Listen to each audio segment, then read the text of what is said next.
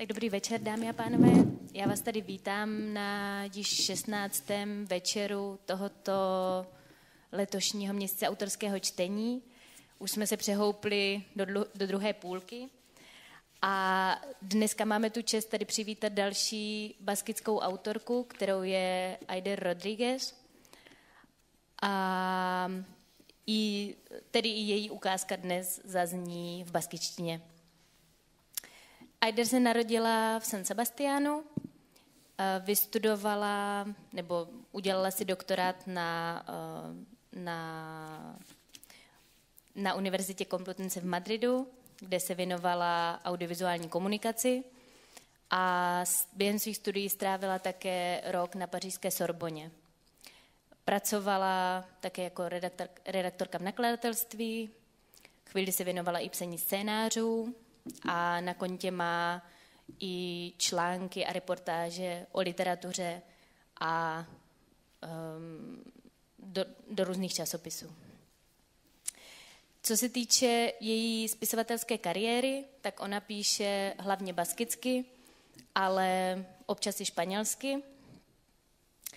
A co se týče literárního žánru, tak eh, zakotvila u povídky. Vlastně všechny její knihy, které byly vydané, tak jsou to povídkové, povídkové sbírky.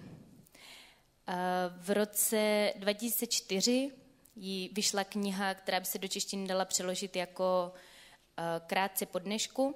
A byla to vlastně první knížka, která byla zároveň přeložená do španělštiny.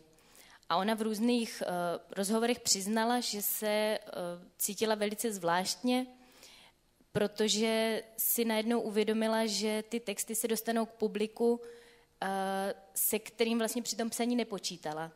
Jako například k jejím rodičům, protože ti mluví jenom španělsky a baskicky neumí, takže ona při tom psaní um, vlastně se mohla vyjadřovat Mm, svoje pocity a dojmy s jistou, s jistou svobodou. A také uvedla, že si myslí, že pokud by tento text rovnou vznikal ve španělštině, tak eh, by ten výsledek byl úplně jiný, protože by se asi sama, sama cenzurovala. Já bych ráda také uvedla, že eh, ona v roce 2008 získala cenu Igarca, což je vlastně tvůrčí stipendium pro, pro literární, literární autory. A vlastně na základě tady toho mohla vzniknout její zatím poslední knížka Kočičí lidé, která vyšla v baskičtině v roce 2010. A takovou zajímavostí je, že tehdy v odborné porotě seděla baskická spisovatelka Carmele Chajo, kterou jste letos už měli možnost slyšet 10. července právě tady na festivalu. Tato knížka potom o dva roky později vyšla také ve španělském překladu. Eh, je to povídková sbírka o mezilidských vztazích a také o tom, že v podstatě každý z nás svým způsobem v sobě máme trošku toho kočičího charakteru, určité nedůvěřivosti a autorka se právě snaží zobrazit rozdíl mezi tím, jak se prezentujeme na venek a mezi tím, jak si doopravdy jsme. Že jsme možná mnohem více citliví a zranitelní, než, než jak vystupujeme. Že možná ta sebedůvěra, kterou někdy ukazujeme, je jenom, jenom maska. A autorka také přeložila do baskičtiny francouzsky psaný román Bál ruské spisovatelky Ireny Nemirovské, který vyšel v roce 2006. Co se týče překladů, tak eh, do češtiny bohužel zatím žádné její dílo nepřiš, ne, nebylo přeloženo. Tak eh, to je ode mě vše. Teď předám, předám slovo a ještě bych na závěr chtěla říct, že vlastně povídka, kterou, kterou dneska uslyšíte, tak eh, je ještě nevydaná. Takže to pro nás to bude taková premiéra. Děkuji a hezký večer.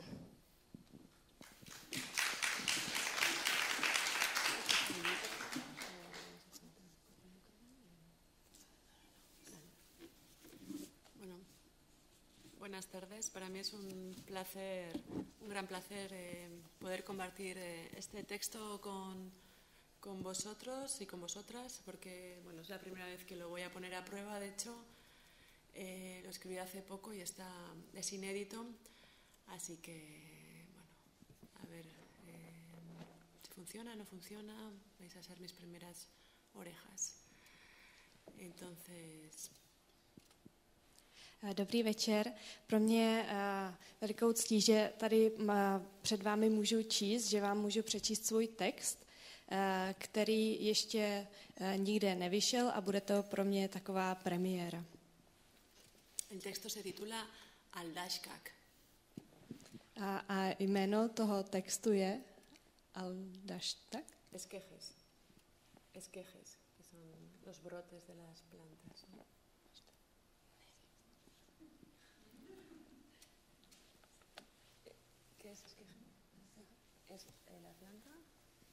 Pequeñito, para poder plantarla. A, ano, a, a název textu je podle jedné rostliny. ¿Leo? Aldaskak. Bere etxera joan ninteken galdetzeko deitu zidan arantzak. Berehala joan ninteken galdetzeko. Aita ginarreba zorabiatu egintzen amets zaintzen ari zela. Esaten ari zena gora bera arantzak etzir- etzirudien larriturik. Ez nengoen etxean baina ordu betean iritsi nintekela esan nion eta ahazteko esan zidan, moztu aurretik aldaska batzuk eman behar zizkidala gogoratuz.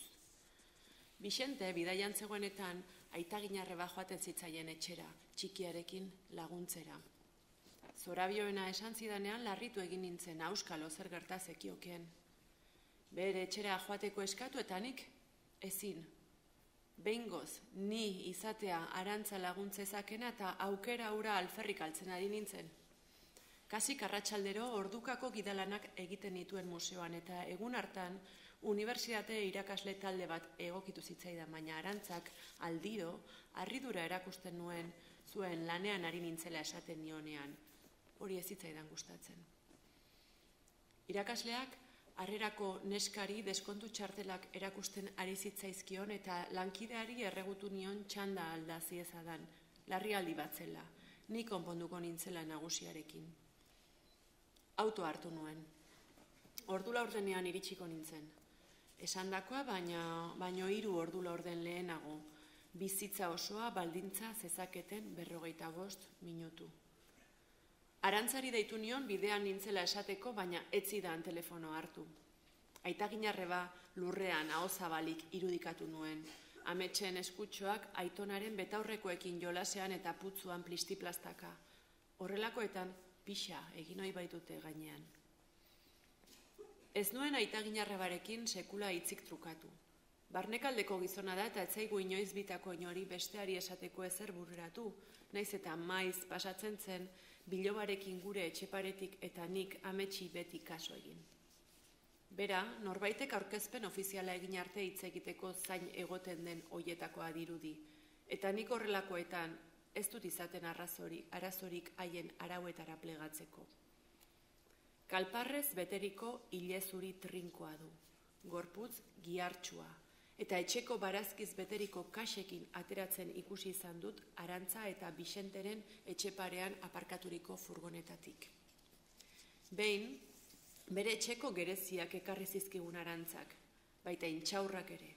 Oraindik hor bai daudenak, guk egonarri nahikorik ez daukagu eta haiek zuritzeko. Baina hitzik trukatu, behin ere.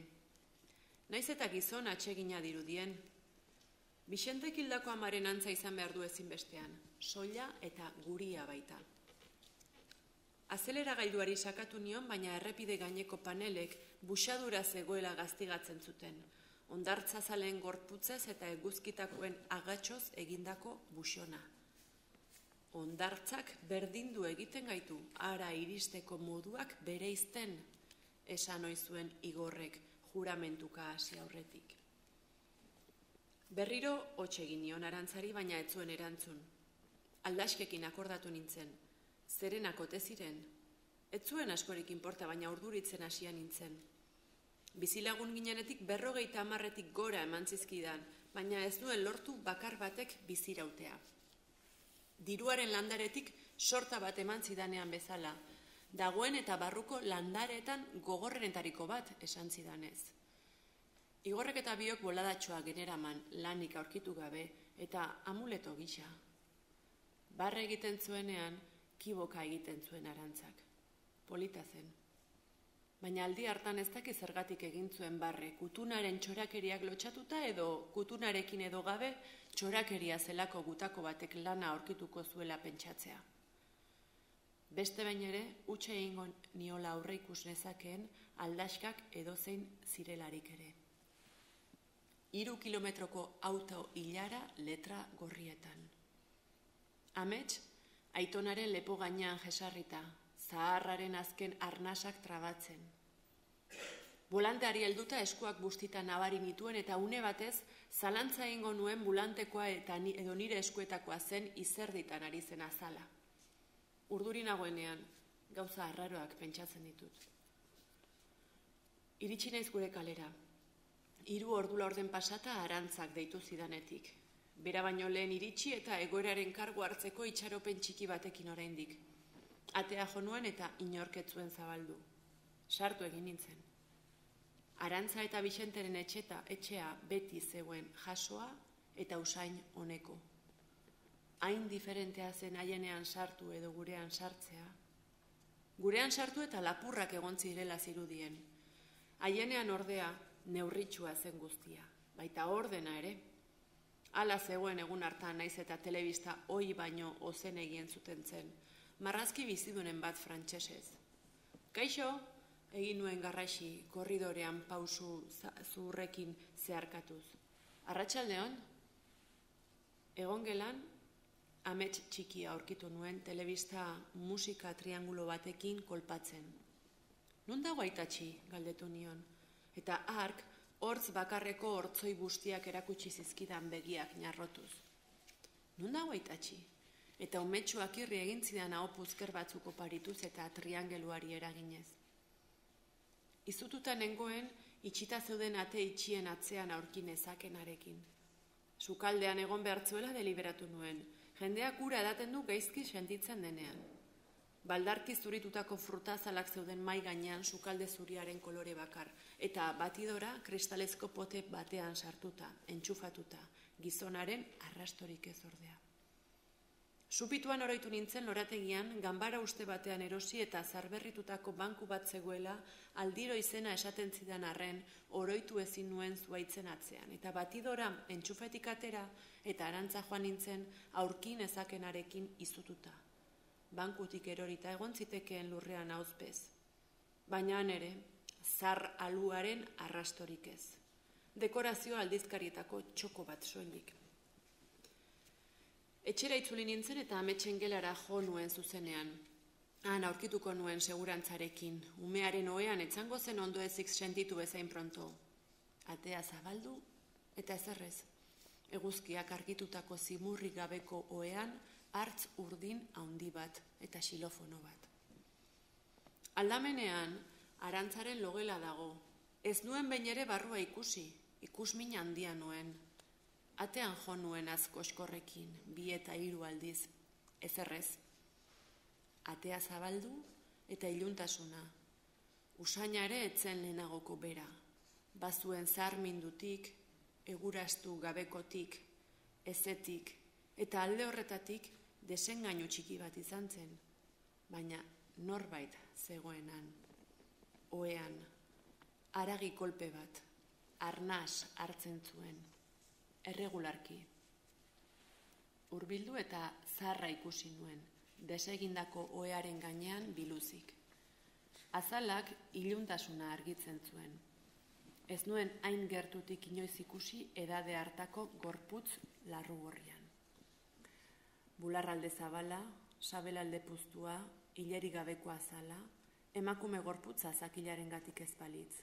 Leuna, luzea, distiratsua, usainari gustua hartzen ari nintzaion, beti gertatzen zitzaidan. Arnasak leunki mugitzen zuen gorputza eta oso gauza bereziak sentitu nituen ari begira. Une hartan ez duen ikusten ari nintzela ulertzeko premiarik sentitu. han egon, begira, beste premiarik ez nuen.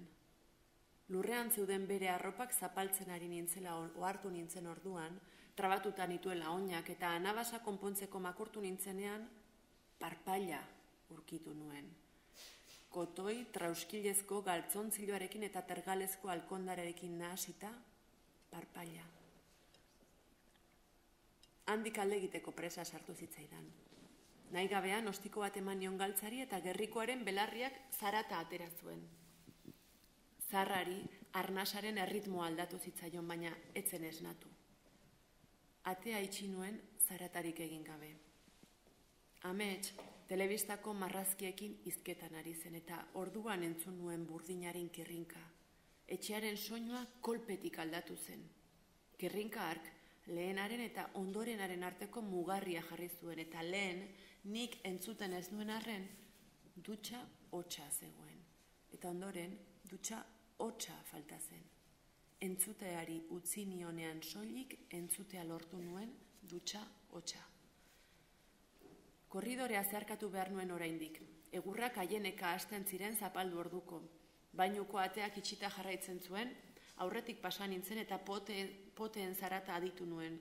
Poteak hartzen eta uzten ari zen. Oso apaina zen, edozein unetan irten zitekeen. Egon gelatik pasatzean amets hau puzkerka hasi zitzaidan. Xilofonoarekin kristalezko mai gainean joaz festara batzeko erregutzen zidan.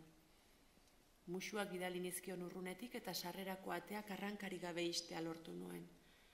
Lursailaren erditi pasa eta korrika batean joan nintzen nire etxeraino. Oean etzan nintzen, dardarka, ezin nuen gorputzura gainetik kendu. Biaramunean otxegin zidan.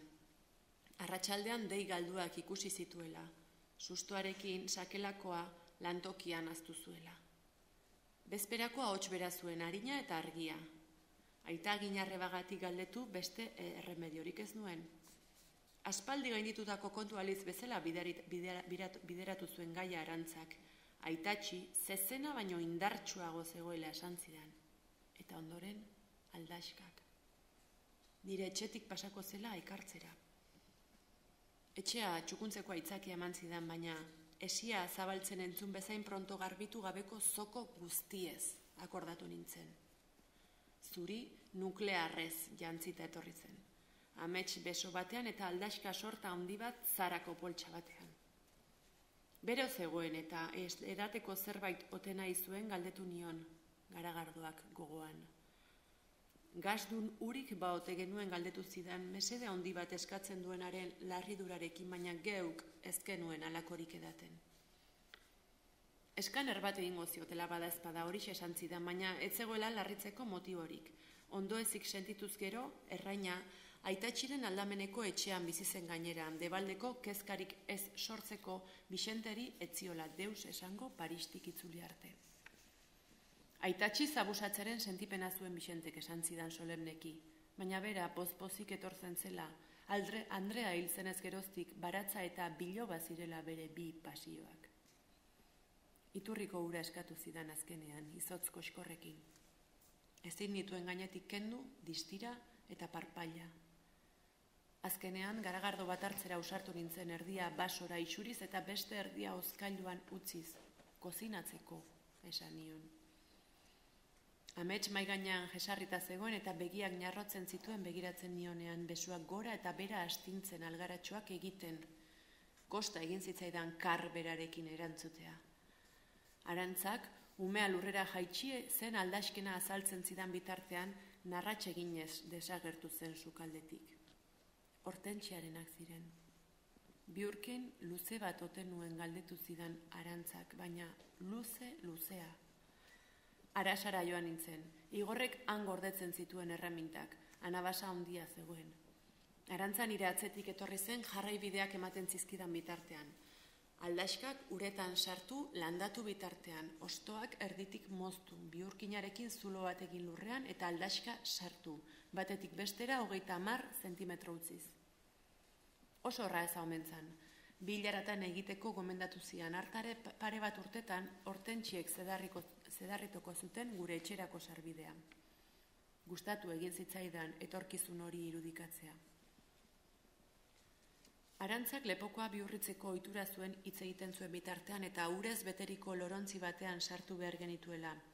Aurkituko ez nuela jakinda bilatzen ari nintzen itxurak egin nituen eta azkenean plastikozko botila bat erditik moztu nuen aldaskak bertan sartuz. Maiaren erdian ipini nituen. Arantzak asebetea zirudien. Igorrengatik galdetu zidan.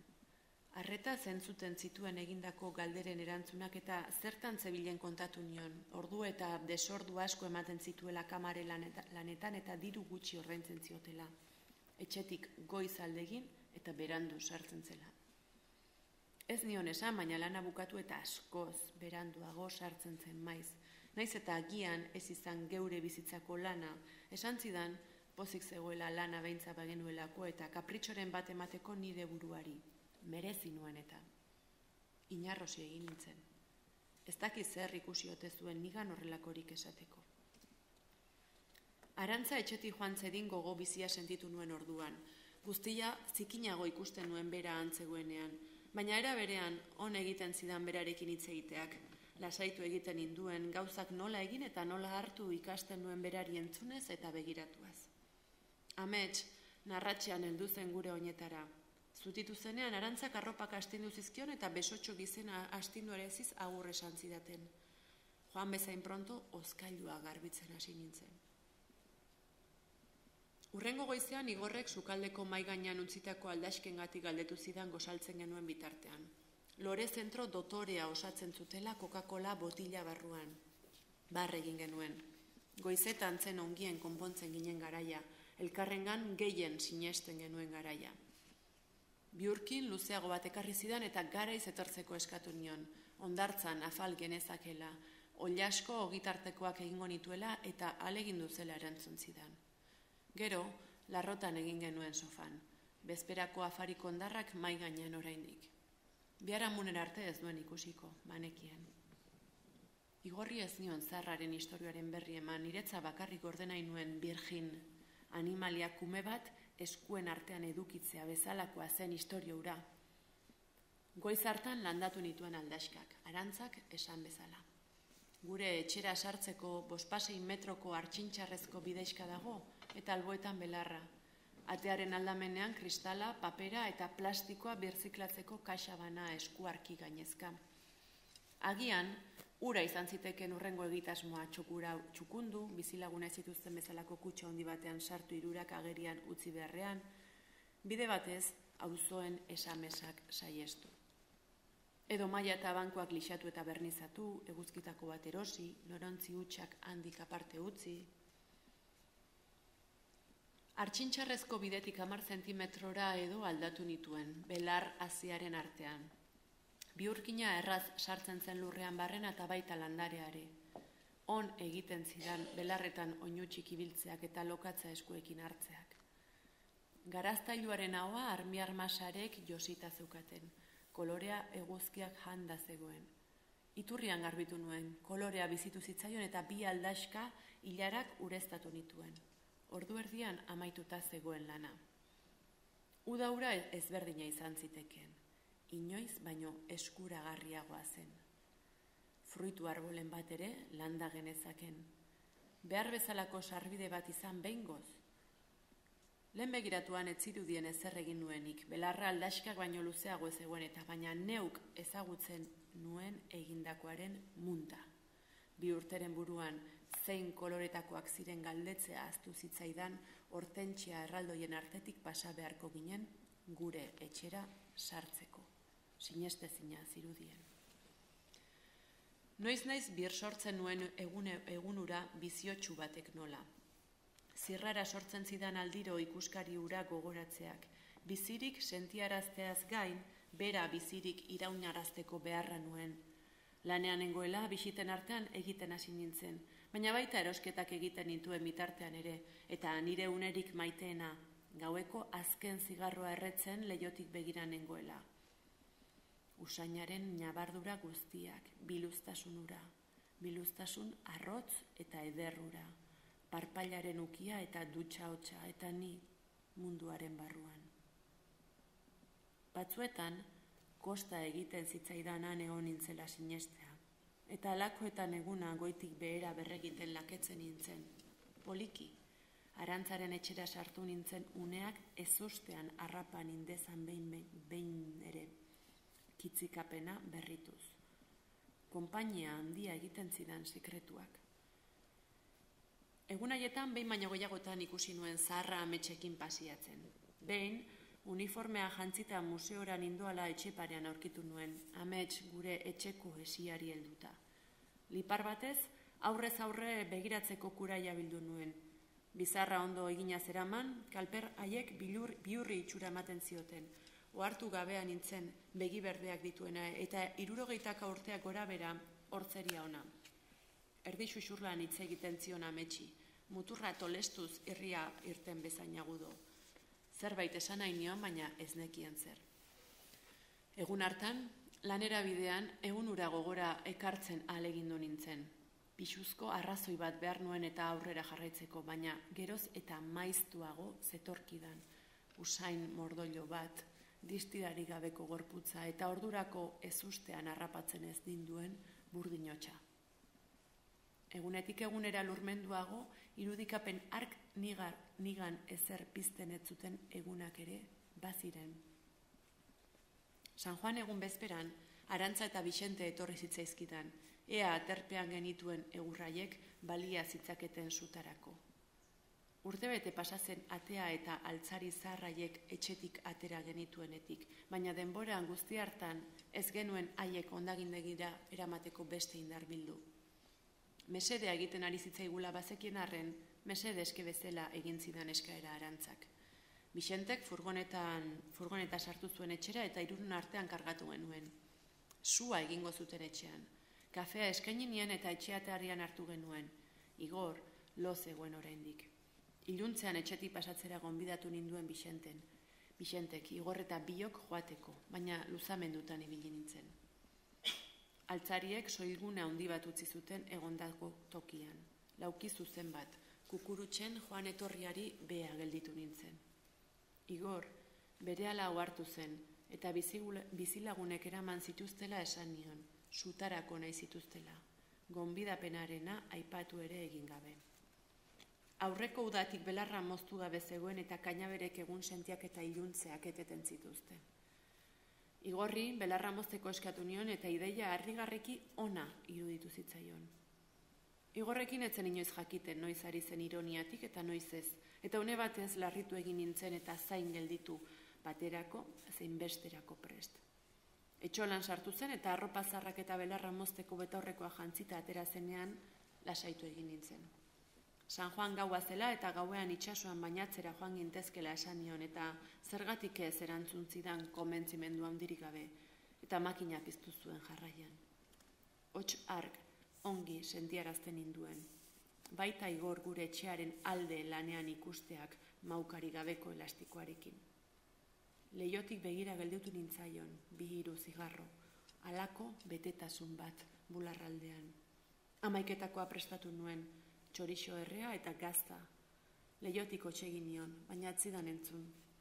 Orduan jabetu nintzen, etzela aldaskekin konturatu. Belar luzearekin nasita zeuden eta makinarekin gaineti pasatzeko zorian zegoen.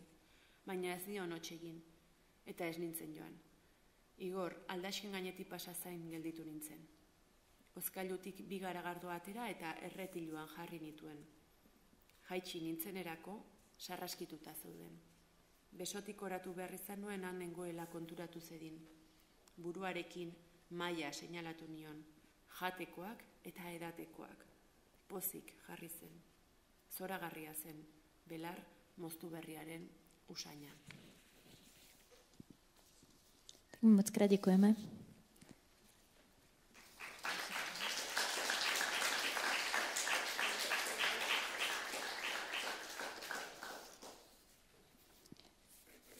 Já... Máte dočteno jenom?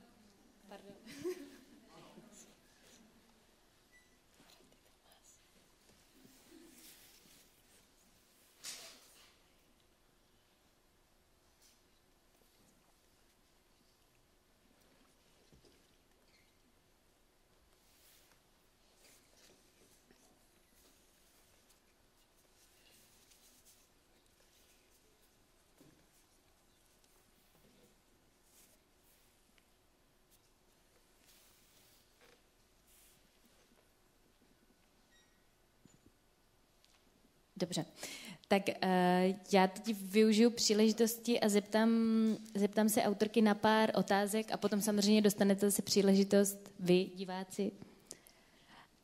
Um, já jsem na začátku zmiňovala, že většinu textů vlastně píšete v baskičtině, ale občas něco um, originálně vznikne i ve španělštině. A tak já bych se chtěla zeptat, jakým způsobem se vlastně rozhodujete, v kterém tom jazyce text vznikne a potom tak, jak se díváte vlastně na problematiku těch eh, překladů vlastních děl z baskičtiny do španělštiny.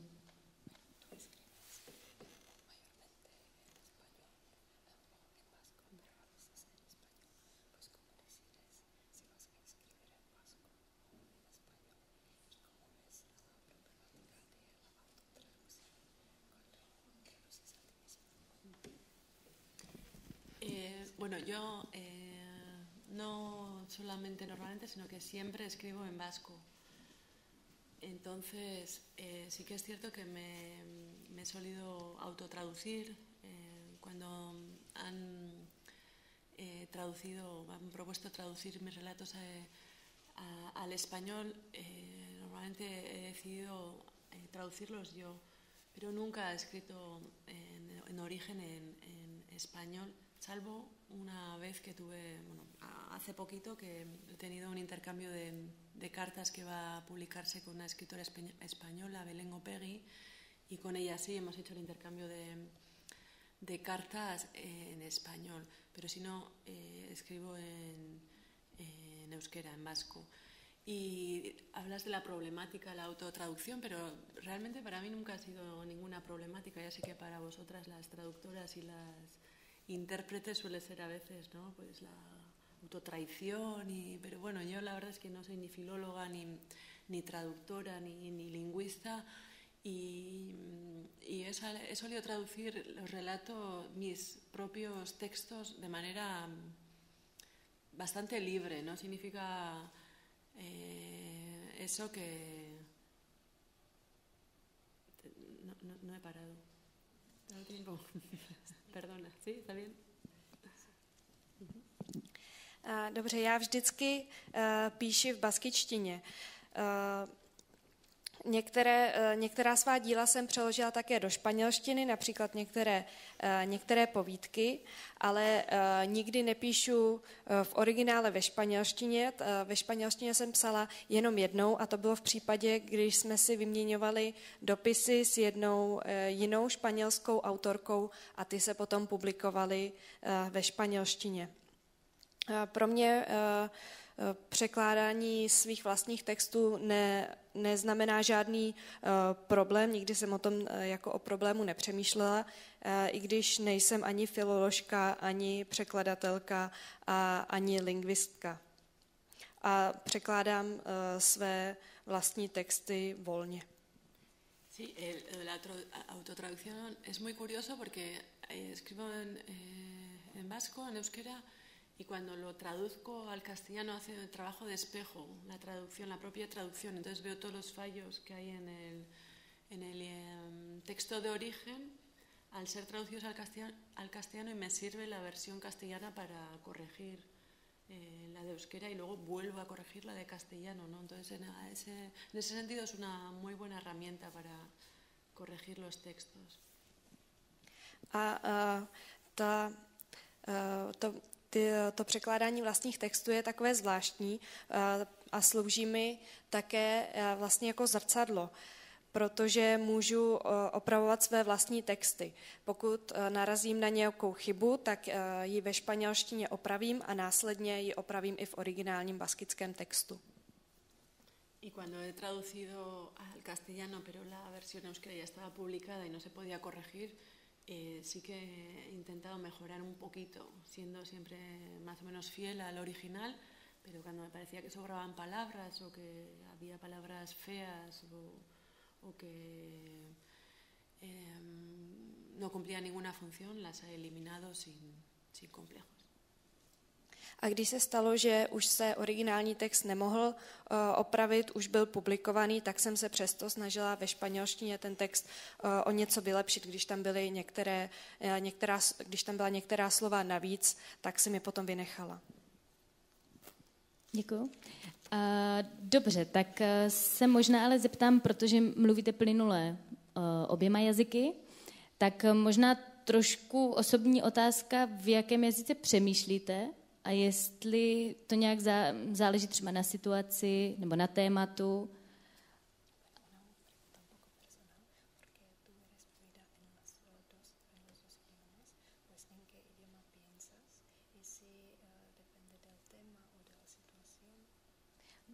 Jenom, jenom ještě doplním, že uh, jestli jakoby mezi těmi jazyky vnímáte nějaký rozdíl uh, a jestli tam naražíte nějaké limity.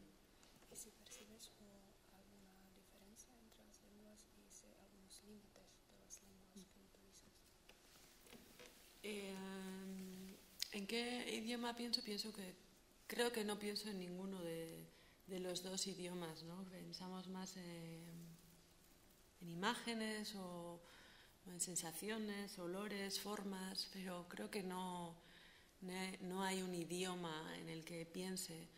De hecho, los sueños también porque esa es una pregunta que suele hacer, ¿no? ¿En qué idioma eh, sueñas? ¿no? Porque ahí se ve realmente si eres bilingüe o realmente estás más escorado hacia, una lengua u otra. ¿no? Normalmente en los sueños hay poco texto, muy poquito. ¿no? Já, já bych řekla, že nemyslím ani v jednom z, z těch jazyků. Myslím si, že přemýšlím spíše uh, v obrazech nebo v nějakých pocitech a například také, když, když sníme, tak, eh, nebo když máme sny, tak eh, tam také není hodně textu, taky eh, občas se ptám, jako v jakém jazyce, jazyce sním, ale moc toho jazyka tam není. Y mm, respecto a los límites de cada, de cada lengua, pues sí, sí que es cierto que cada lengua tiene sus límites, ¿no? Pues el, el, El idioma castellano es un idioma pues, que, tiene una academia desde hace 500 siglos, que tiene muchísimos eh, hablantes, una gramática estrictísima y, bueno, y que se ha, se, ha se ha, expandido gracias a la colonización. Eh, en diversos países y eso ha generado que, la, que, el idioma se ha ido multiplicando y regenerando y enriqueciéndose. ¿no? Eh, el euskera es otra cosa completamente distinta. ¿no? Ha sido maltratado durante mucho tiempo. Hace muy poquito que tiene una academia, bueno, ya 100 años, pero la academia la tiene hace 100 años. Se unificó la lengua en los años eh, 60 A pokud hovoříme o limitech, tak uh, si myslím, že každý, uh, každý jazyk nějaké má. Výhoda španělštiny je, že je kodifikovaná už přes 500 let, má hodně, má hodně mluvčích, rodilých mluvčích, má pevně danou gramatiku a také se velice rozšířila díky kolonizátorství a velice se rozšířila a také díky tomu obohatila.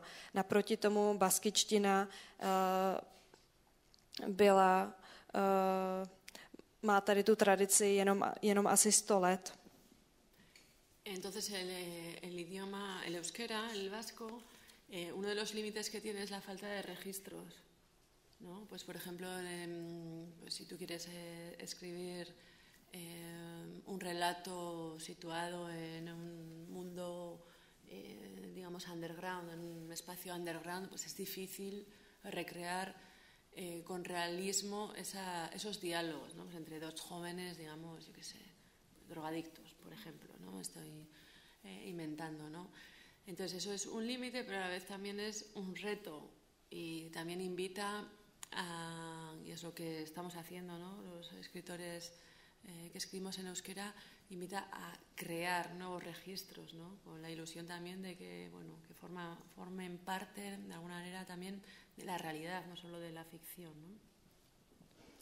A problém uh, baskičtiny je, uh, že jí chybí uh, jakési slovníky z, různých, z různých oblastí, například z undergroundu. Když vytváříme, teď si vymýšlím, třeba dialogy o drogově závislých, ale zároveň je to pro nás taková záchrana a vybízí nás to k psaní a můžeme vymýšlet tady ty nové slovníky.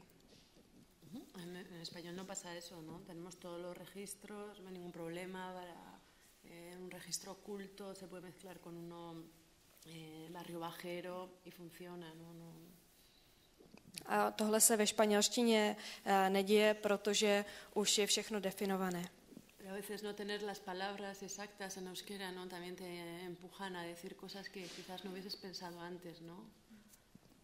A také eh, to, že v, basky, v baskičtině tyto eh, slovníky nemáme, nás eh, trochu tlačí vymýšlet něco nového, o čem jsme dříve nepřemýšleli.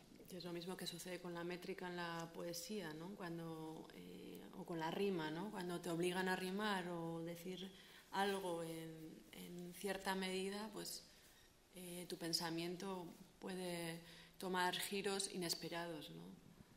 A je to to samé eh, jako v poezii. Když nemáme danou nějakou eh, pevnou metriku, tak eh, nám, nás to nutí vymýšlet si něco nového. Quiero decir que la restricción puede ser una opción a, crear cosas nuevas. Takže omezení uh, mohou být zároveň nějakým pohnutkem k vymýšlení nových věcí. Já, já bych se ještě ráda vrátila uh, k překladům. Eh, já jsem si někde dočetla, že vy ráda čtete texty v originále, ale když už si to nemůžete v originále přečíst, tak eh, si to ráda přečtete právě v baskickém překladu.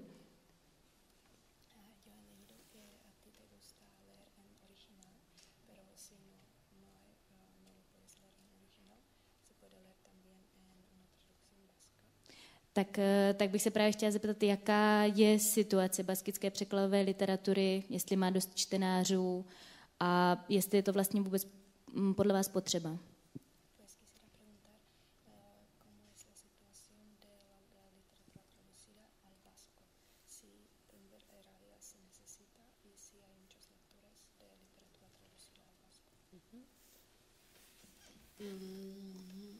Realmente eh, hay muchos libros traducidos al vasco. Es una gran necesidad que tenemos para que la gente eh, adquiera registros hasta ahora eh, inexistentes o perdidos, más que inexistentes, ¿no? en euskera. Sin embargo, y se hace, se hace y todos los años se financian traducciones al vasco de libros clásicos, contemporáneos y también bestsellers, ¿no? Y también de literatura juvenil y bueno, creo que se hace una bastante buena selección de títulos a traducir al euskera. Sin embargo, es cierto, yo trabajo eh, de profesora con, con alumnos que, bueno, que rondan los 18, 20, 22, 24 años y, y cuando les dices que prefieren el niño de pijama a rayas o pijamado, ha rayado un pijamado un mutilla, o sea, el mismo libro traducido ¿no? al castellano o al euskera, la mayoría va a optar por el libro eh, traducido al castellano.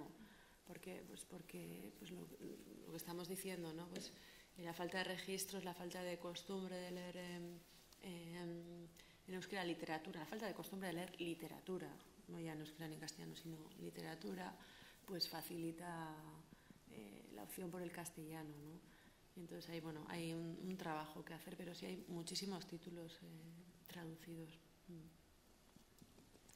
Uh, do baskičtiny je přeložených hodně knih a je to velmi, pot, je velmi potřebné přeložit, ty, přeložit knihy do baskičtiny. Vytváří se tak také nové slovníky a v současnosti se také financují překlady jak klasických, tak současných děl, bestsellerů, děl pro mládež. A já také pracuji jako učitelka s lidmi mezi 18 a 24 lety a když se jich tam, tak oni říkají, že si raději přečtou překlad ve španělštině, právě proto, že chybí některá slova v té baskečtině a také chybí návyky ke čtení a je potřeba ještě na tom zapracovat. Tak já moc krát děkuju a teď eh, dám příležitost vám. Ten, kdo bude mít nějakou otázku, stačí zvednout ruku, já dojdu s mikrofonem.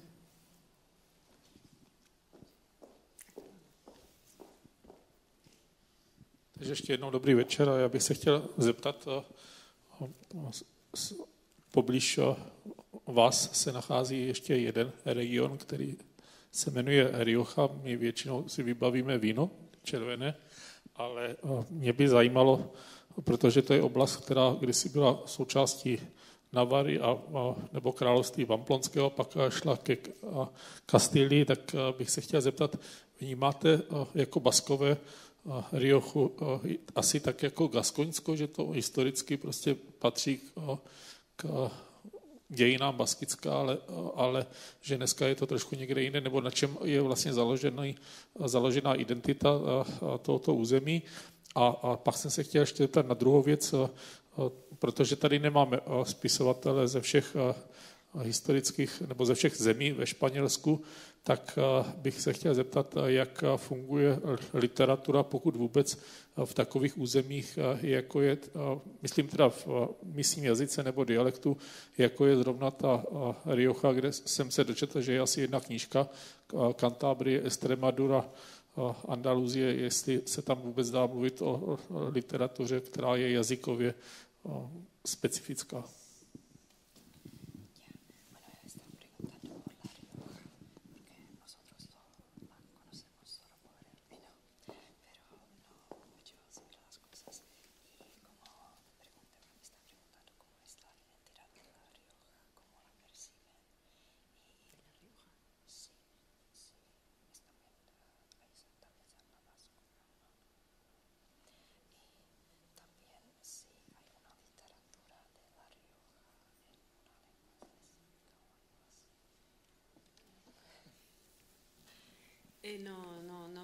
No, no, conozco la realidad de la, de la Rioja.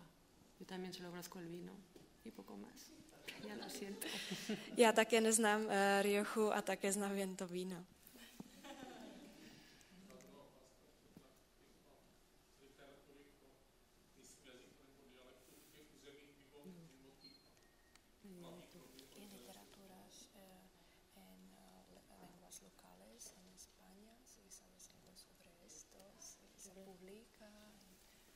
Sí, en, en, gallego se publica, en catalán se publica. En, en Publikuje se v galicijštině, v katalánštině. En Bable un poquito. En castellano. En, en extremeño o en andaluz. Eh, pero no se escriben en estándar, en español estándar. Oni píší eh, ve, eh, v standardní španělštině nebo v spisované španělštině.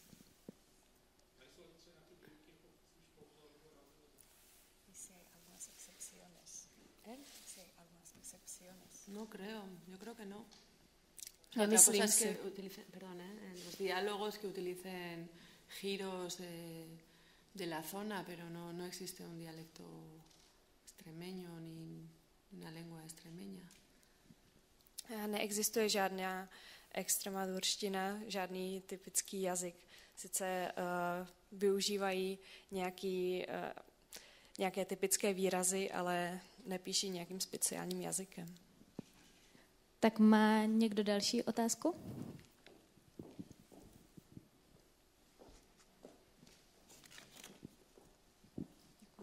Dobrý večer, já bych se chtěla zeptat, eh, protože mě ta baskičtina fascinuje jako hudebně, ten jazyk, když to poslouchám, tak bych se chtěla zeptat, jak třeba v katalánštině jsou takové názvuky italské při té výslovnosti, určitě i slova tam jsou italský, v galicištině zase spíš do, toho, do té portugalštiny. Tak jestli ta baskičtina má něco trošku z francouzštiny, nebo co tam také nejvíc? zvukově. Jako.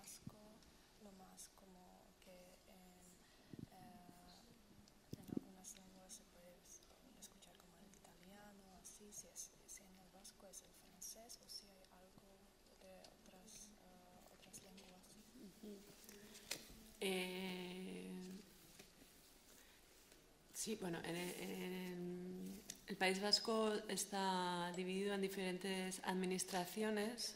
eh, entonces, en las dos administraciones, en tres administraciones, digamos, ¿no? Para simplificar. Y dos de las administraciones están en el Estado español. El euskera, el vasco que se habla en el Estado español, está muy eh, mezclado con el español, Castellano. con el castellano. ¿eh? Tak uh, baskičtina se nachází na různých územích a ta, kterou se hovoří na území Španělska, je hodně uh, smíchaná se španělštinou, s kastelštinou. No a ta jiná potom, když je to někam směrem do těch Pyrenejí, tam už ta francouzština by byla znát. Sí, y luego en, el euskera que se habla eh, en el- la parte que está bajo la administración francesa está mezclado con el francés, de la misma manera que está mezclado con el español o eh, tiene mucho léxico español en, en el Estado español, pues lo mismo con el euskera que se habla en, en el Estado francés. I más, más léxico o palabras? Vocabulario. vocabulario, sintaxis, giros, de todo. A naopak eh, potom na území Francie je více eh, slovíček z francouzštiny, stejně jako ve Španělsku jsou slovíčka eh, ze španělštiny a nejedná se tedy jenom o ta slovíčka, ale také například o syntax También el acento. a také přízvuk. Tak kam dál můžu posunout mikrofon? Dobrý večer. Eh, Slyšeli jsme, že vaší oblíbeným žánrem jsou povídky. Eh, Tak bych se rád zeptal, co vás na povídkách přitahuje a jestli jste neuvažovala, že se pustíte spíš eh, směrem nějakého velkého románu.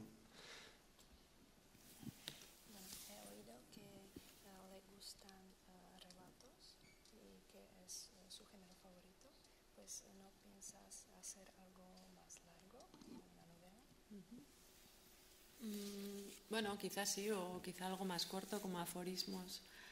Eh, hay una gran moda por la novela y los editores siempre quieren eso y yo soy bastante cabezota, entonces eh, quizá algún día, pero no sé, tampoco me tienta especialmente la, la novela. El relato me parece el género ideal para mí, porque bueno, te da la opción de escribir diferentes historias sin dar demasiado la pelmada y, bueno, eh, de la misma manera pudiendo contar muchas veces lo que contaría una novela, de otra manera, pero eh, más condensada, pero si funciona creo que puede contar lo mismo que una novela, con la misma fuerza además. A Možná ně- něco dalšího napíšu, ale také možná napíšu něco kratšího jako aforizmy. A e, editoři vždycky chtějí, abych, a, aby lidé psali něco delšího, napsali romány, ale já jsem poměrně paličatá, takže je zatím nepíšu a tolik mě to neláká. Pro mě jsou povídky ideální a je to pro mě mož- možnost možnost, jak eh, psát eh, růz, různé příběhy a často si myslím, že povídka může říci eh, stejně tolik jako román. Tak ještě máme spoustu času, tak koho láká se dozvědět něco o této jazykové oblasti? Dobrý večer, já bych se chtěla zeptat, jak zaznělo v tom úvodním medailonku, že vlastně s těma španělskýma překladama, až si přečetli ty vaše povídky vaši rodičové a že oni baskicky nemluví, tak jak jste se k té baskičtině dostala vy? A eh, co potom teda ti vaši rodiče nebo prostě ti známí, kteří nemluví tou baskičtinou, na to říkali, když si to přečetli ve španělštině?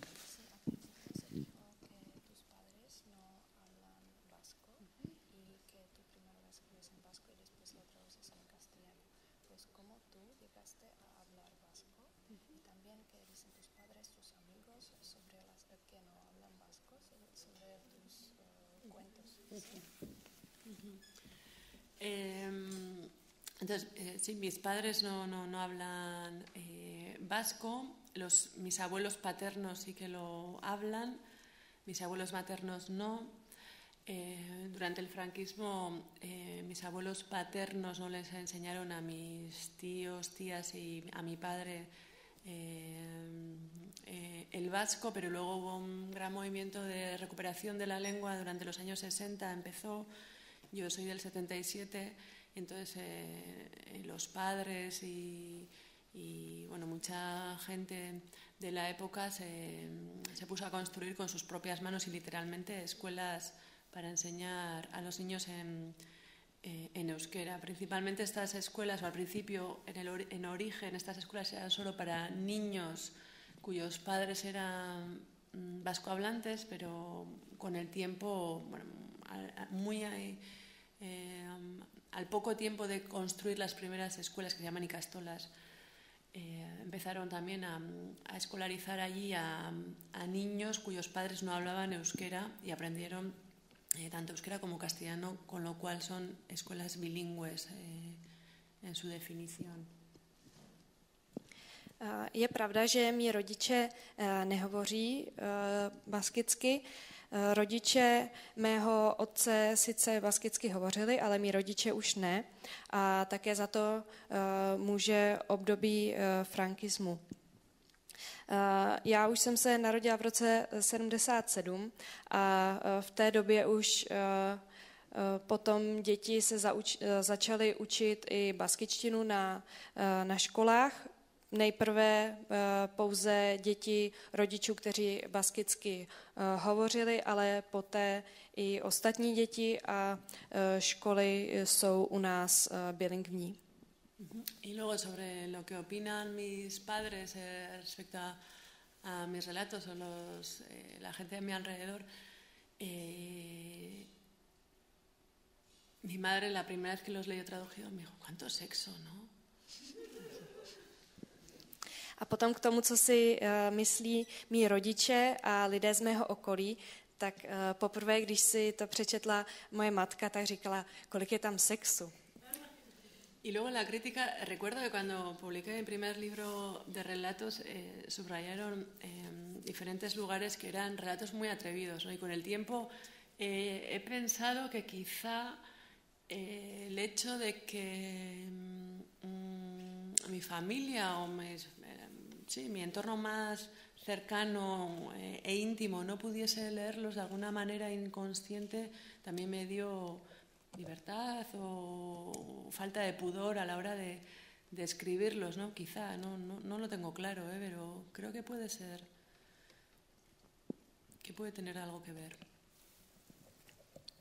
Tak a potom, eh, když eh, se publikovala moje první kniha povídek, tak jsem si říkala, že jsou eh, docela odvážné a také přemýšlím nad tím, eh, co, eh, co si bude myslet moje ro- eh, rodina nebo mý nejbližší, ale myslím, že se to, že se to může takhle napsat. Tak určitě ještě máme čas na nějakou otázku.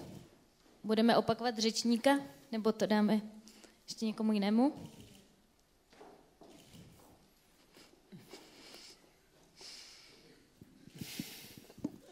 Ještě bych se chtěl zeptat, a, tady víme o tom, že se hlásí lidi k, ke galicijskému národu, k baskickému národu, k, k katalánskému národu, ale už třeba asi méně je známý, že existuje i nacionalismus asturský, tak bych se chtěl zeptat, jestli v těch dalších zemích španělských, jestli, jestli tam třeba minoritní nebo zcela okrajový pocit, že nejsou Španělé, existuje taky, pokud ano, tak v kterých, mimo teda Kanárský ostrov ještě. A pak bych měl ještě druhý dotaz. Co se týče Frankovy diktatury, tak po občanské válce mě by zajímala ještě jedna věc.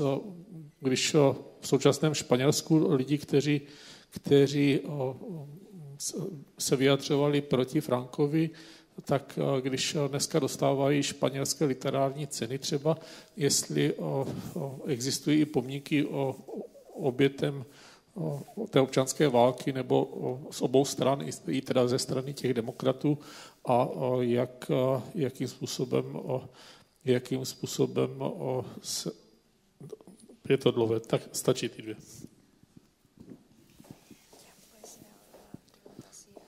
Jaké pomníky, jestli existují pomníky obětem Frankovy diktatury po válce?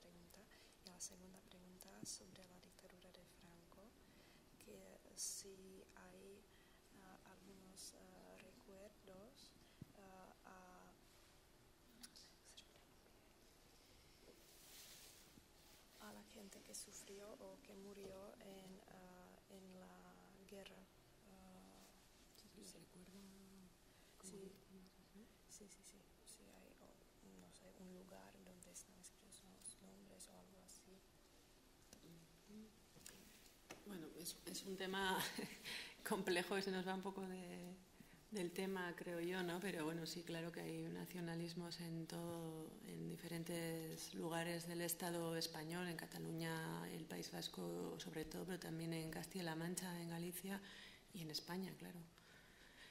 Eh, y la otra pregunta era la del... Dictadura, sí, sí hay algunos recuerdos en las ciudades a las víctimas. A las víctimas del franquismo. Sí. De la guerra?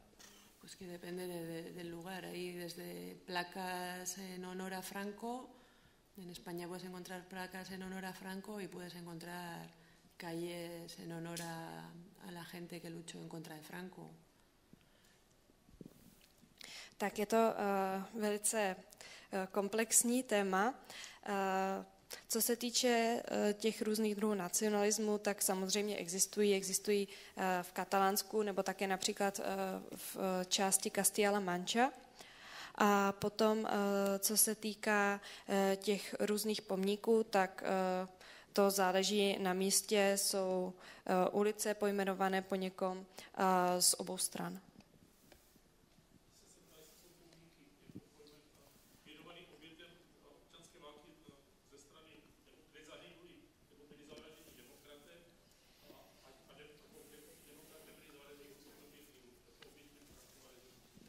Obě strany. Tak my moc krát děkujeme, jak vám, ale především Eide Rodriguez, že nám dneska přečetla zatím ještě nepublikovanou povídku. Budeme doufat, že se něco přeloží do češtiny. A samozřejmě doufáme, že se tady potkáme i na dalších večerech, protože nám jich ještě zbývá spoustu. Mám tady ale uh, informaci k zítřku, že zítřejší autor Christian Krusan bohužel nepřijede, takže v 7 hodin tady nic nebude. Ale já pevně věřím, že o půl deváté Arnold Goldfam vám to všechno vynahradí. Tak si mějte hezky a těšíme se na, na příště.